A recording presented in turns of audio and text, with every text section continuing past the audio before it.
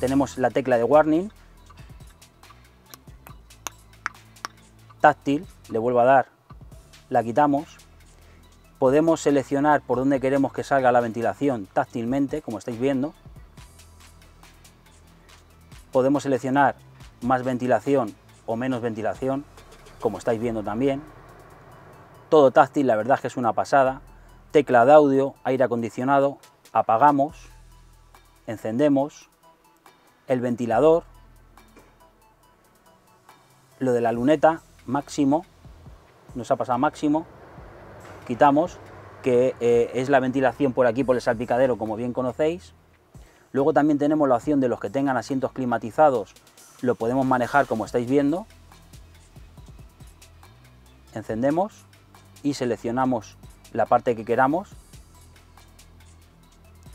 Insisto, los que tengáis asientos climatizados, ¿vale? Tenemos un setting y tenemos una teclita de car, que al final, bueno, son un poco los modos de conducción de la parte de, eh, de esto que tenéis aquí, que es la suspensión del vehículo, ¿vale?